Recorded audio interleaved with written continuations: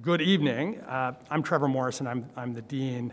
Uh, I wish it were the case that once we're standing up here, we could take our masks off. And if I were setting the rules, um, I think I would set a rule that we can. But I think we should follow uh, NYU's protocols here, and so that means uh, keeping our masks on even while up here. Um, so I promise I'm Trevor Morrison, even if I'm not recognizable with this. Um, and it, I really am thrilled to, uh, to welcome you all and everyone joining us on Zoom as well to the 25th annual Attorney General Robert Abrams Public Service Lecture. Um, this is a great fixture annually in our calendar here at the law school um, and is one of the very first non class in person events we've had here in the, in the COVID era, um, and, and fitting that this annual fixture would, would serve that role here. Uh, the public service lecture, the, the Abrams Public Service Lecture, has for a quarter century now uh, really been a hallmark uh, of the law school's commitment to public service, uh, which is a deep one, as I think you all know.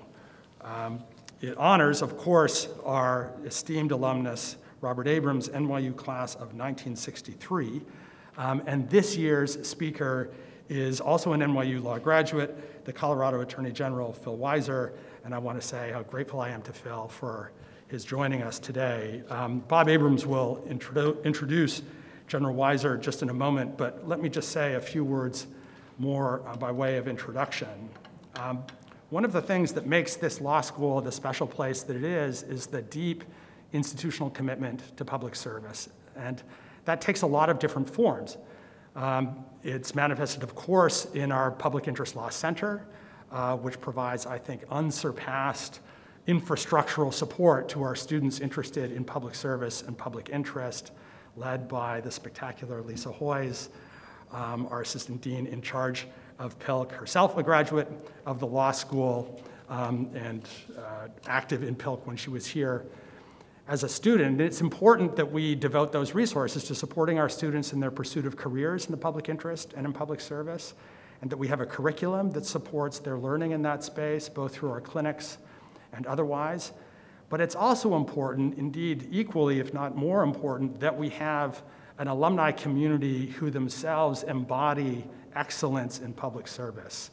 And that what we mean to teach our students in preparing them for a career in public service is what it means to render that service honorably, uh, what it means to uphold integrity in the law and in the profession, an obligation that every lawyer has, I think, uh, as a matter of their participation in the profession, but in particular those who are serving in public interest. Um, these days uh, have, I fear, given us more examples of people charged with public trust who abuse it um, and who don't themselves embody the values we want to instill in our students. And so when we have an opportunity to lift up our graduates in public service as models of excellence and integrity in public service, we do that. There is no better model of that than Bob Abrams. Um, his career in public service is just a spectacular example of dedication to the public good. A 28 year career in government, he was a member of the New York State Assembly, served three terms as the Bronx Borough President, and in 1978 was elected to, the, to serve the first of four terms as New York's Attorney General. And while in that role, he really defined the modern state attorney general, um, both in terms of the substantive good that that office holder can do, and in terms of the norms of professional integrity that uh, should be expected of any occupant of that role, and that he uh, demonstrated so spectacularly.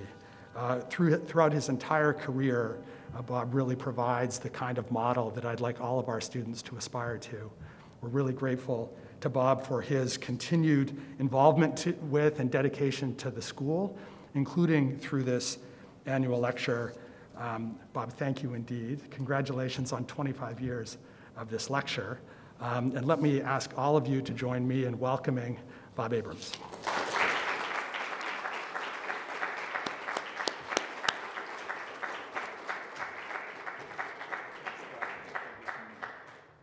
Thank you so much, Dean. Uh, it's such a uh, privilege to be here each year, and it's hard to believe that this is the 25th year. Um, first of all, let me, let me just thank Lisa Hoyes, Gail Zweig, uh, the staff, uh, uh, um, uh, Maddie uh, Montes Dioka, who recently joined the staff and uh, has been so helpful to put this together, especially during this difficult period. Uh, uh, this room in the past has always been filled, and it's more difficult under these circumstances um, because uh, outsiders who have joined us in the past uh, just can't do it this year. And those who are here, normally at the end of our presentation, we'd go and enjoy a repast, some wonderful food, but that's not allowed uh, during under these circumstances as well. But the fact that we're able to do it at all uh, is an, uh, in person is an achievement uh, given these circumstances. Um, 25 years, uh, uh, it's hard to believe that so much time has gone by, but we come here today. This lecture is as relevant and uh, today as it was 25 years ago when it was created. I went to the then dean, John Sexton, and I said, John, I'm worried. I'm nervous.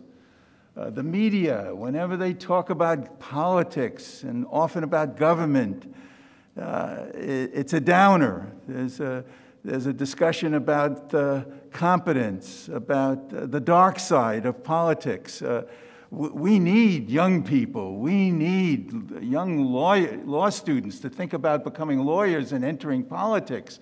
We need their idealism. We need their energy. We need their potential solutions to the problems that confront us. And so I said, you know, my experience has been over a long period of time that those who I worked with in government were good people, they were honest, they were dedicated, uh, they were committed to public service, and I, I, I, want students to see those people. And for 25 years, we've done that. It kicked off with a spectacular public uh, servant and public official, Joe Lieberman, and it culminates tonight in the silver anniversary with another extraordinary human being and person who uh, has had a wonderful career and uh, now is uh, the great Attorney General of the state of Colorado, and I'll, I'll talk a little bit more about him. Uh, uh, they represent what you should aspire to an opportunity for leadership, for service, uh, for contribution. Um, and, and Phil Weiser, um, a guy who spent years in the Bronx, you know, I mean, the Bronx uh, uh, they, they, say you can take the boy out of the Bronx, but you can't take the Bronx out of the boy. And Phil spent a number of years growing up in the Bronx and then moved on to parts of Westchester and elsewhere. Um, an, an, extraordinary life. Um, the son of Holocaust survivors, a mother who was born in Buchenwagen, uh, Buchenwald uh, concentration camp, uh, knowing, therefore, growing up about what deprivation and depravity is all about. Um, an outstanding student, uh, going to Swarthmore, graduating at the top of his class, coming to this extraordinary law school, doing well, graduating with honors, being on the law review, being the articles editor, and then deciding to pursue public service. Uh, clerking for a judge in the 10th Circuit, and then clerking for Justice Ruth Bader Ginsburg in the United States Supreme Court and Justice Byron White. And then uh, joining others uh, in Washington in pursuit of public service, being in the Clinton administration, being in the Obama uh, administration, serving in the White House, serving as the senior counsel to the uh, Assistant Attorney General in charge of the Antitrust Division in the Justice Department uh, doing very important work, cutting edge stuff, and then becoming an academic. Uh, going to Colorado and becoming a professor and becoming the dean and developing programs, again, pioneering at the cutting edge, important on telecommun- uh, important programs uh, uh on telecommunications, technology, um, having experts come together and lecture and not only uh, disseminate information to the people of Colorado, but to the people of the region and, and, and the whole country. Um, Phil Weiser then did the unlikely thing, the dean of a law school, running, getting involved in politics and running for public office and running for attorney general. Uh, the people of Colorado didn't know of him at the outset, didn't have name recognition, and then, and yet he was able to prevail in a primary fight and then prevail in a tough general election and take the reins of that office. And, and his quality shone initially, right away. He became a leader of attorneys general, becoming the chair of the Western Conference uh, of Attorneys General. Uh, uh, being a person who is in the lead of, of multi state litigation, uh, leading 36 states in the uh, lawsuit and investigation of Google in terms of anti competitive practices, uh, taking on important issues relating to consumers, civil rights, and the environment, um, and doing it all uh, as a person of, of deep conviction and integrity. initiating an important program uh, the Ginsburg Scalia Initiative, pointing to something corrosive in our society and how we can try to get away from it, remediate it. You know, uh, polarization taking place in our politics, in our communities, um, division, tribalism. Phil Weiser saying, we're better than that and Ruth Bader Ginsburg and Antonin Scalia represented what I'm talking about. They were people of polar extremes. They had different philosophies, they had different points of view, but they respected one another. They worked well with each other, they admired each other, they were collaborative. And that's what this country and society should be all about. And so, again, exercising leadership, trying to have attorneys general think more about how they conduct themselves and and spread that out into the broader society, how we as a nation should be uh, united and not polarized. And so uh, it's a pleasure for me, it's an honor for me to introduce a person to come to this microphone who will inspire you because of who he is and what his life and his values are all about. Uh, a man of ability, a man of leadership, a man of courage, a man of integrity, a man of uh, of demonstrated commitment to public service, a man of achievement in all the different positions that he's held, and somebody who I think is proud uh, to come back to his alma mater and help inspire students here who will be the leaders of tomorrow as they pursue lives and careers in public service. I, I talk about in my book uh, how I'm the luckiest guy in the world for a whole variety of reasons. I'm lucky tonight, in addition to what's in here, uh, to be able to introduce you to the great Attorney General of Colorado, Phil Weiser.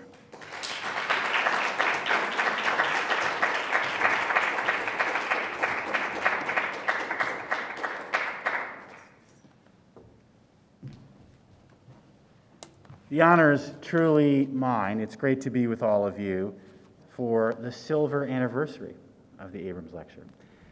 And I want to begin with what is a familiar Yiddish expression, which is, let me say a few words before I speak. By the way, that goes over at different rates in different crowds. The opportunity here to speak at my alma mater, which launched my career in public service, is very meaningful. And it's really meaningful at a lecture named for Bob Abrams, who is a mensch. You don't know about Bob's career, let me say a word or two more than what Trevor did. Um, he served as New York Attorney General and he transformed the position. Here's what Governor David Paterson said about him He fought fiercely for the people of this state, protecting consumer and civil rights, launching groundbreaking efforts in the areas of environmental protection and criminal prosecution. He left an indelible mark on New York's history. He did he also left an indelible mark on many individuals, showing that politics is both a team sport and about people. I first met Bob in the early 1970s when I was living in the Bronx after a Saturday morning services where they were serving a kiddush. And he was there shaking hands with people because he always loved and cared about people. When I interviewed him for his book, he said that his goal was always to make a difference, to serve people. And he was driven by a goal that public service should be an inspired goal. And I know that affected me, Bob, and so many others. When I think about my career arc, when I was where you are now, I think a lot about the people here who helped me get launched. When I was a 1L, we put together a reading group with professors like Vicki Been, who I know is still on the faculty. When I was on the law review, we had many engaging conversations about matters of pressing legal scholarship. When I was here as a student, I heard many speakers, including across the hall, then Judge Ruth Bader Ginsburg, later Justice, who delivered her Madison lecture, which I would encourage to all of you as worthy of your time. When I was here, there was a speaker series, a public service series, where I had my interests and path developed, including meeting Al Gerhardstein, a NYU law alum who's practicing civil rights law in Cincinnati, Ohio. I also had professors who were extraordinary mentors and now friends like Chris Eisgruber, Vicki Been, Ricky Revesz, and Bill Nelson. They encouraged me on my path, including that first job as a law clerk to Judge David E. Bell, which brought me to Colorado and really shaped my journey. So, for all the students here, I would encourage you to reflect about your path. And one of the opportunities in your path would be even to maybe come to the Colorado Attorney General's office or the New York Attorney General's office. In Colorado last summer, or last spring, I think we had Alex Liguri, who worked with us on some really important cutting edge water law issues. And we've, of course, learned how to have people work remotely. If you're interested in that, please talk to me afterwards. As you think about your journey, I would commend to you a quote by Ralph Waldo Emerson Do not go where the path may lead, go instead where there's no path and leave a trail. I would encourage all of you not to only do what is easy or right in front of you, but to really reflect as to where and how you might make a difference. And that might be outside of New York City, it might be outside of Washington, D.C. Right now, states and local governments are playing an extraordinarily important role and need people like you. Here's what Bob had to say about his view of politics and government. In the course of my lifetime, I met able, honest people, Republicans and Democrats alike, working in government to implement the vision of our founders. I discovered in all the interactions and decision making that there was respect shown for others and a listening ear that developed all points of view, and that often through that, common ground could be achieved. That mindset, which I'll come back to, is very much what I have in mind with this Ginsburg Scalia initiative. So, my theme tonight is going to focus on that and a commitment to respectful dialogue, to listening, and to collaborative problem solving. But before I do that, I'd love to reflect a little about this role of state attorneys general and the rule of law, both of which were inspired and guided by Bob's leadership. Our Constitution invented and developed a remarkable innovation separation of powers. James Madison put it very well in one of his Federalist Papers set up rival institutions, three branches of government, where ambition shall check ambition. There's another dimension to separating powers federalism, separate powers for state and federal governments. In recent years, state attorneys general representing their states have played a very important role defending the rule of law and pursuing justice. It was an unfortunate feature of the last administration that the Justice Department of the United States adopted positions that failed to vindicate the rule of law. In a world where the Affordable Care Act was not being defended by the Justice Department, efforts were being made to undermine a lawful census, and the program called DACA was being ended in an arbitrary and capricious way, it was state attorneys general who defended people of their states and the rule of law. In each of these cases, we prevailed. In each of these cases, we defended the rule of law and a commitment to constitutional governance, a governance that is about laws, not the whims of people in power. That's a core commitment which isn't about which party is in power. And as we think about this question about how we defend state authority and protect our constitutional and statutory rights, it's worth looking at a couple examples to get a little bit of a sense of how this works. And I'm going to obviously focus on Colorado examples. The national government has a long-standing rule. It's called the Byrne JAG rule, where they provide funding for law enforcement. For years, that's how it worked. Unfortunately, in the last administration, the Department of Justice started attaching new requirements to this law enforcement program. And the new requirements were asking state and local entities to engage in immigration enforcement, acting as arms of the federal government, if you will. And if they refused to do so, they could lose financial support. In the statute, there was no basis for these conditions, and they offend the constitutional commitment to state sovereignty. We challenged that program and we won. Here's another example. For years, dating back to 1977 under Clean Air Act amendments, there was a clean car rules where states had a choice. They could either go with the federal model or they could adopt the California model. Colorado decided we're going to go ahead and use the Cal- California model because the Trump administration wanted to dial back the federal protection. But that wasn't enough that they were dialing back the federal protection. They also wanted to pull the rug out from states like Colorado, saying you could no longer opt to do what California had been doing. We challenged that affront to state sovereignty and were successful as well. What's important is, regardless of who the president is, state attorneys general are authorized to defend the rule of law and the people of their states, which makes plain that if a federal government doesn't follow the rules, there's somebody watching. I've often said, whoever's in the White House, I'm committed to that principle. I'm going to defend the people of Colorado and the rule of law. And indeed, I've actually now taken our first challenge to a decision of the Biden administration because we're committed to protecting the people of Colorado, and there's an issue under the Clean Water Act, Section 401, where the state certification process is not being given its due regard, and we're defending state sovereignty in this administration. I've often talked about the rule of law. In fact, I talked about it so much on the campaign trail, my wife said to me, Phil, will you stop talking about the rule of law? Ordinary people don't know what it means. Several years later, people have said to me, I'm really glad you talk about the rule of law because it's really important.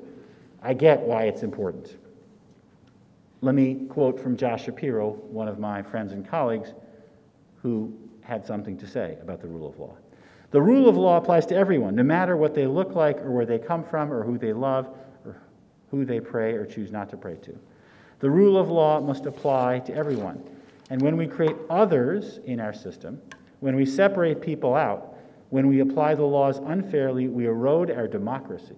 We erode the rule of law and we make everyone less safe. We make everyone weaker. Our nation is premised on equal justice under law. I think that's actually what it says at the U.S. Supreme Court. We must continue to defend that basis. And if we erode it, if what party you belong to or how close you are to people in power defines how you're treated, we've lost the rule of law. There are a lot of nations around the world that don't have the rule of law, and they envy the United States of America. Let me get to another thread that Bob teed up about listening and respectful dialogue. Because there can be a quick move from, oh, you're a Democratic Attorney General who sued the Justice Department about the Affordable Care Act. That must explain most of your work. And if you thought that, you would be missing the big picture. Because most of what we do is work with colleagues from other states to solve problems. And I will acknowledge that there are times when colleagues have done things that have been hard to watch, like the lawsuit brought by the Texas Attorney General to overturn the Electoral College. But I also take great inspiration that some stood up against members of their party, including Lawrence Wasden from Idaho, who had this to say about his decision to not join that lawsuit. He said, As is sometimes the case, the legally correct decision may not be the politically convenient decision. And he said his responsibility was to the state of Idaho and the rule of law. Not only are there attorneys general who will place principle over party, but there are so many issues that transcend party. For example, suing pharmaceutical companies who caused and contributed to our opioid crisis was something that we worked together arm in arm, those of us who are Democrats and those of us who are Republicans. We in Colorado led a case against McKinsey, who consulted with Purdue Pharma and the Sackler family. 47 states were with us, and I worked closely with a number of Republican attorney generals in that matter. Suing Google and Facebook, we have 40 something attorneys general working together to enforce our antitrust laws. And after January 6, we worked with other states to lead a letter calling for accountability and condemning the attack on our democracy, and 47 state AGs came together.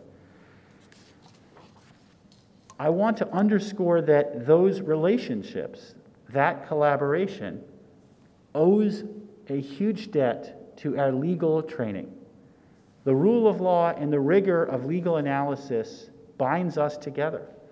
We are not operating in an environment like those in a legislature where people might assert a supposed fact, but not have the discipline of having to prove it in court. Or people might take a certain position and not worry about whether there's legal support for it. That discipline, whether it's antitrust or consumer protection or public health, is a powerful and unifying platform that we can work with. This is a tradition of lawyers who are engaged in dialogue based on principles, and there is room for disagreement, and seeing things differently. That's the same story that Ginsburg and Scalia had together. Here's what Justice Ginsburg had to say about it. If our friendship encourages others to appreciate that some very good people have ideas with which we disagree, and that, despite differences, people of goodwill can pull together for the well being of the institutions we serve and our country, I will be overjoyed, as I'm confident Justice Scalia would be. At our best as lawyers, we operate within institutions and within norms that encourage asking questions, listening, learning, and collaborative problem solving. As Colorado's Attorney General, I've had the privilege of working in a state that takes these values seriously. We worked, for example, to pass a privacy law that passed our state Senate unanimously. Now, I recognize this is not the world that we see in our national politics. At the national level, we're not seeing legislative processes work in a way that's consistent with collaborative problem solving or some call it regular order, where committees will work together to develop legislation that will move up, as the Schoolhouse Rock song said, I'm just a bill. In fact, the challenge is when you don't have institutions, you can have more of this toxic polarization or tribalism, and we're watching that this week. Jonathan Rauch, bemoaning this decline of institutional processes, says institutions are the enemy of tribalism, at least in the context of living in a liberal democracy. By definition, institutions can bring people together to work on common projects, building community. Many of our institutions, like the federal legislative ones, aren't working as they should. But many others, state attorneys general, state legislatures, are working that way. County commissions, city councils, what have you. From the perspective of being a state attorney general, I can see and celebrate this model of collaborative problem solving. And that's why I developed this Ginsburg Scalia initiative that is focused on collaborative problem solving and dialogue as norms that we need to hold on to. The idea is we can elevate civil discourse and demonstrate how people who might disagree can listen to one another and be engaged in dialogue. We can work to develop civic education that models that very situation. By doing so, we can overcome what is a threat to democracy the threat that people view those with different viewpoints as other, what Josh Shapiro was afraid of, demonizing people, excluding people, seeing them as an alien, immoral, a threat. And that erodes all space for listening, for collaborative problem solving, and can even lay the groundwork for violence. When I think about the importance of listening, I also think about a story that was told about Thurgood Marshall. It's recounted by Stephen Carter, a Yale law professor, and it comes from when Thurgood Marshall was on the Second Circuit. And during that time, there was a woman who filed a lot of complaints.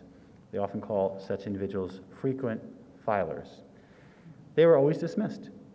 Her complaints included ones that the government installed electrodes in her brain to steal her ideas for TV shows.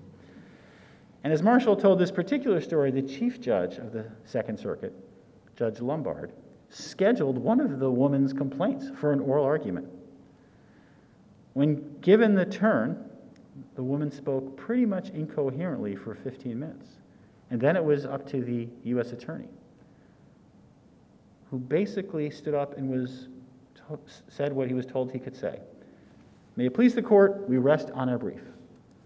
At that point, Judge Lumbard rose to his feet, and this was not a usual thing to do, and admonished the U.S. attorney, saying, Are you trying to tell me, young man, that after this woman, exercising her fundamental right to petition the government, came into a courtroom and argued her case, and the government doesn't have the dignity to respond?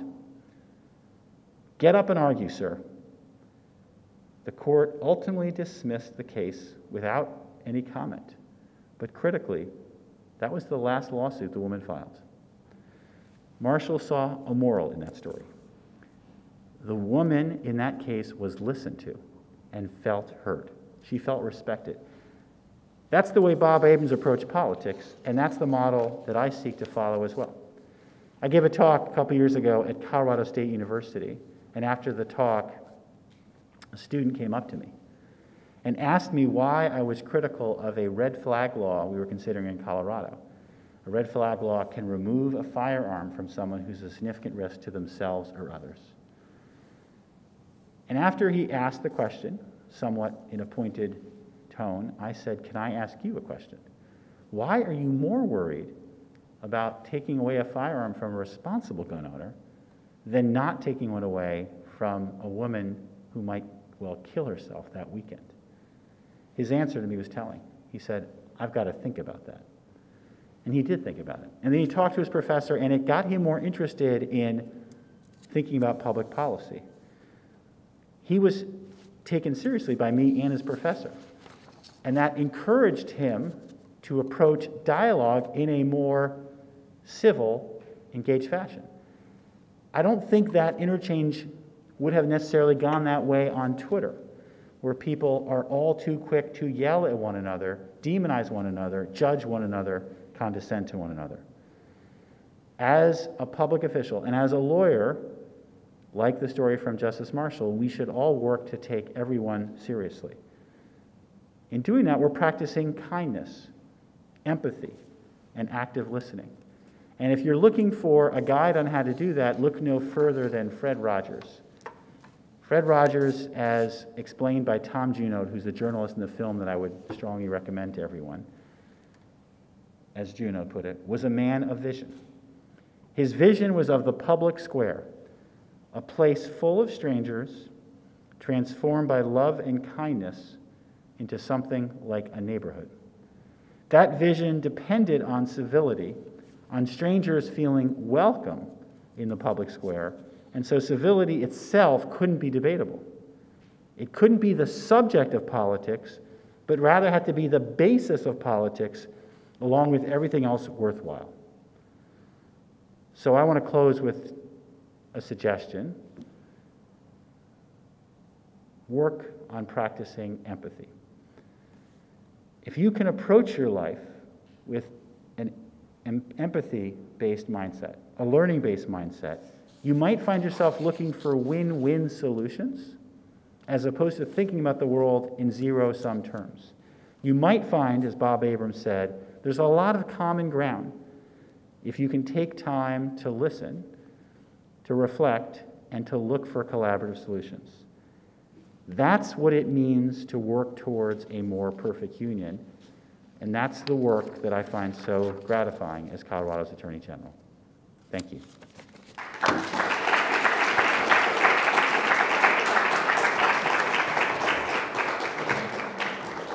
So Phil has uh, consented to respond to some student questions, and uh, based upon my 25 years of experience, uh, students sometimes tend to be a little diffident and quiet, and they're not forthcoming. So I decided that the first one to ask a question is going to get a copy of my book.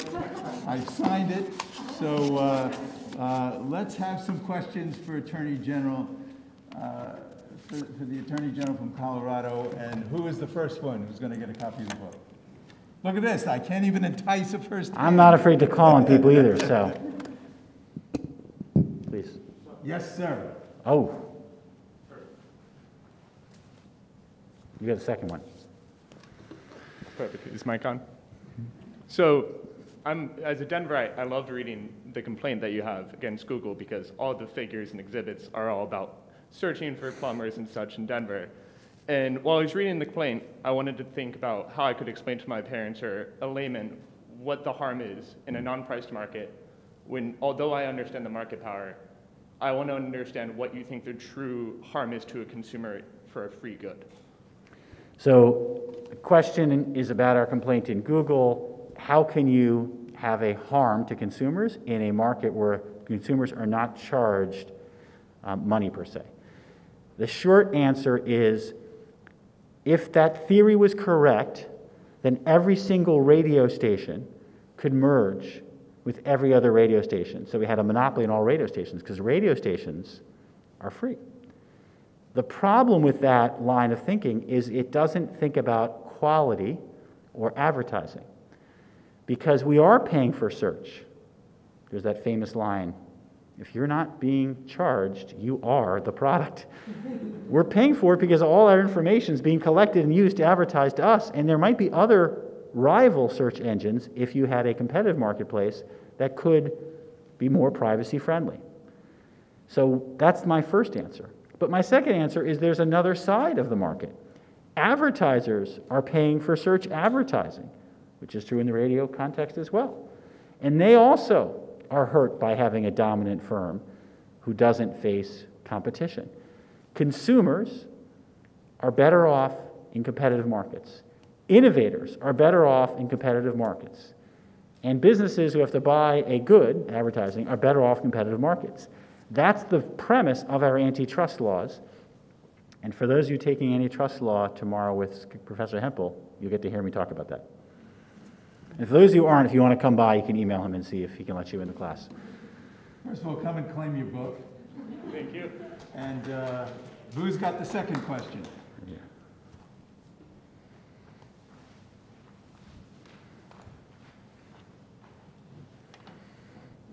So obviously, in a large majority of states, the state attorney general's position is elected and it's a political office. So how can state attorneys general best appear apolitical when they're investigating other public officials um, and uh, come out to a just solution that uh, without, without appearing as they're going for political gain? So the question is a deep question because I don't have the ability to truly shape what other people might think about me. So, how can I not appear political? What I can do is act with integrity and do work that will be transparent and that will be based on facts and rigorous legal analysis. There's always a risk that people are going to judge that work through a political lens because I'm an elected official my commitment is to have that integrity in how I do that work and to ask people to review the work themselves before discounting it by saying, because you're an elected official, can we trust you're operating with integrity? You have an example very close to home here. I'm going to let Bob talk about it because I know he followed it really closely, and I know that Tish James, who gave this lecture last year, is a mentee of Bob, as am I. She did what I described. She had a investigation of the governor of the same party that, by all accounts that I can see, she operated with integrity. And I use that sense in the same sense that Ronald Dworkin talks about it. She was seeking to operate under the legal standards, to find the facts, and reach conclusions that were supported. And that's something that lawyers do that is special about the legal system. We do our work in ways that is publicly reviewable. And I did think that's the, an obvious answer. And I don't know if have people saw or thought she operated differently than that, but I think that is a responsive one. No, I think she, uh, her report stood on its weight, on its own. The public received it very well, editorial boards across the state. Everybody felt she conducted herself appropriately. She was independent. She picked two people who were highly competent, highly experienced, with total integrity to conduct the investigation. They were thorough. They took months. They interviewed hundreds of people. They documented it in a very large report available for, the, for, for public scrutiny. And, uh, you know, I think uh, people said she did the right thing, she did her job. And there were many who were doubters because she had run with the governor in a very close way in the general election and was aided by the governor in a variety of ways, perhaps in the primary as well as in the general election. But as the as Attorney General Weiser said, the proof is in the pudding. You know, where she she conducted herself in such a way that everybody saw that this was a first-rate professional independent job. And it's, it's a deep question, and it gets to the core of why Bob set up this lecture. It is easy to be cynical about elected officials, to discount all individuals who run for office. And if you look at opinion polls about who we trust, professors as a group get about 60% we trust professors, 60% of people trust professors, elected officials about 30%. My trust level got cut in half the minute I was an elected official. I recognize that. I recognize I've got to earn my trust with the proof being in the pudding. And I would encourage all of you to reflect on the merits, not on the basis of the fact someone's an elected official, because it is a threat to our legal system, to our system of government, that the trust levels are as low as they are. Who else? Come on now, NYU. I'm not afraid to call on people, Bob. so. This law school is known for All right, got a couple. attracting uh, terrific students. Okay, here we go. Hi, thank you again for meeting with us and for putting this on. Um, there's this thing that people keep telling me that annoys me, which is law school doesn't prepare you to be a lawyer. And I've heard this over and over and over. And I want to ask you because you were a professor. Is the dean still here? No. Okay, good. He's not here. Good. Um, but like, what are we not learning here? Like, what? What? Basically, my question is this: like, what can we? I'm a, a second year student. I got two years. Thank God it's in person. Like, what can we do to bridge that gap to be more prepared? And what do they mean when they say we're not prepared to be lawyers? Like, what do you learn when you start practicing? And again, thanks for for uh, being It's here. a good, it's a good question to ask, and I've got a few answers. The first one is what I heard when I graduated college from a sportscaster named Heywood Hale Broun. Remember Heywood Hale Broun?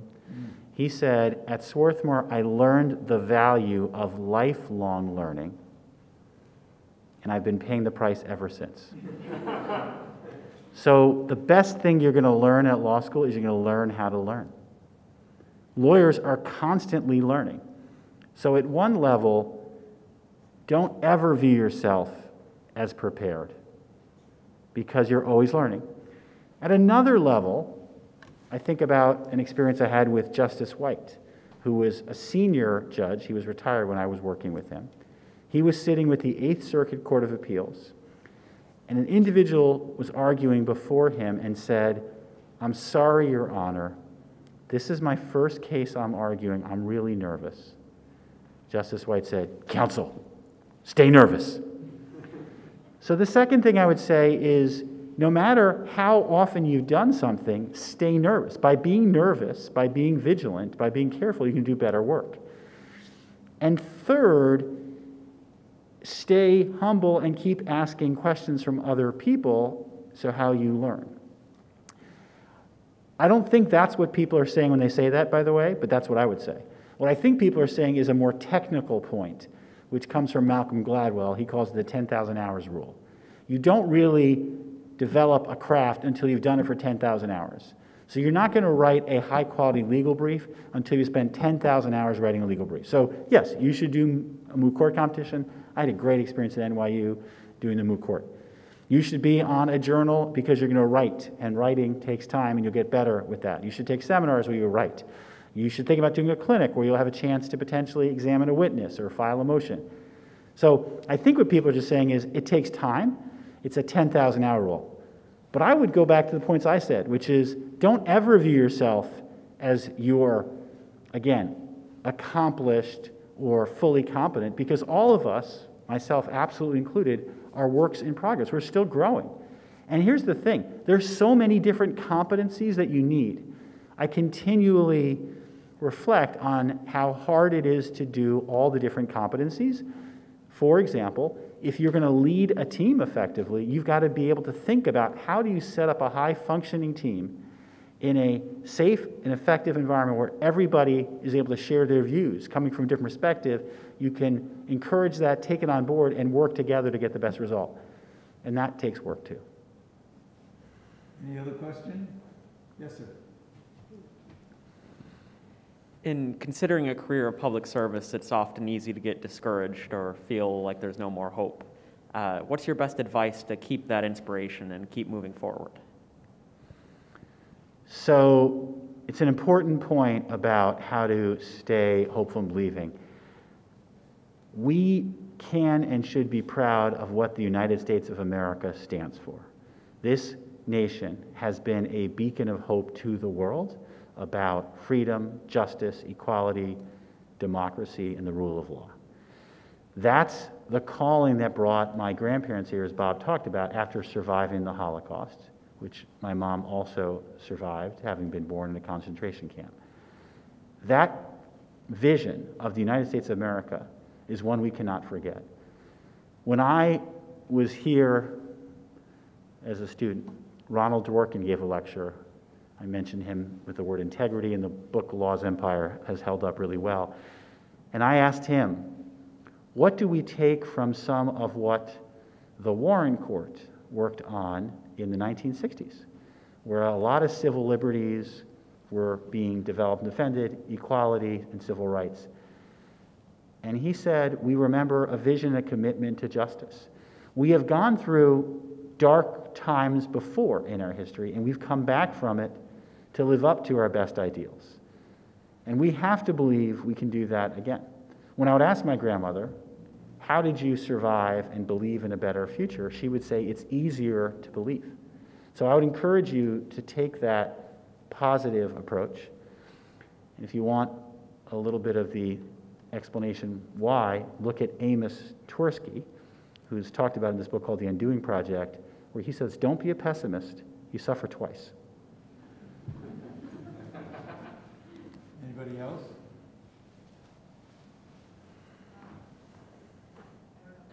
Um, I can project it. um, so you talked a little bit about the power of states to respond to actions of the federal government. Um, the example you gave was Byrne JAG. How do you view the role of states in responding to actions that other states have taken, um, such as the Texas abortion law? We're involved in that case too. And we are an amicus because the US government is the one challenging the law. There are times when states do something that is a threat to liberty and a threat to other states. And in those cases, our interests in Colorado are impacted. There will be people coming to Colorado to receive abortions because they can't get them. To underscore how cruel the Texas law is, many of you know this, many people won't know they're pregnant within six weeks. And if you're pregnant because of being raped or victim of incest, this law doesn't make any accommodation. Sentencing you to give birth to a child that could cause you great mental anguish. There's lots of other circumstances that will lead individuals to make that choice. I believe that is an individual's choice, and that from the perspective of bodily autonomy and equality, it's not for the state to tell someone that they have to bear a child. Now, I am worried because the Supreme Court is considering Roe versus Wade this year. And that is going to be a critical challenge for the court as an institution. We will see whether there can be five votes to continue to preserve Roe versus Wade, a precedent that has built up a lot of reliance. We'll be involved in that as well. Phil, I believe in this country, like you said, it's, it's extraordinary, America, its values, what it's all about. A lot of people say we're on the verge of a civil war, that there is great division in our country. Are we divided? And if so, how did, how did we get there? Why did it happen? So there's a lot that is happening in the world that we live in that is accentuating division, polarization, and demonization. One of the elements that right now is clearly involved is social media. The algorithms on social media tend to engage people by taking them down particular rabbit holes. For example, Thomas Webster was there on January 6th. He used to be a New York City police officer who was in Mike Bloomberg's security detail. He showed up in full body armor that day. When he was asked why, he said because he'd seen countless videos of people like him being beaten by police. How did he go from being a law enforcement professional who was honored to being a criminal? Watching countless of videos that took him down that rabbit hole. People are living in different information environments, being conditioned to demonize other people, to see themselves as being victimized, and to see others as oppressors or as unworthy of respect. That is fundamentally unhealthy and dangerous to democracy. The premise of democracy is we are all citizens in a project of self governance together. And it's a responsibility that we all have to work together to solve problems that has to include listening to other people. That's a vision of how we are e pluribus unum that is under a real threat right now. So that's a lot for us to work on.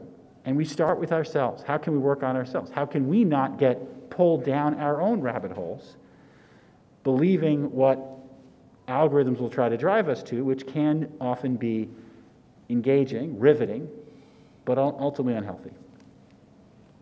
Well, we were privileged tonight to be in the presence of an extraordinary professor, dean, lawyer, attorney general, the Attorney General of Colorado, Phil Weiser. Let's give him a round.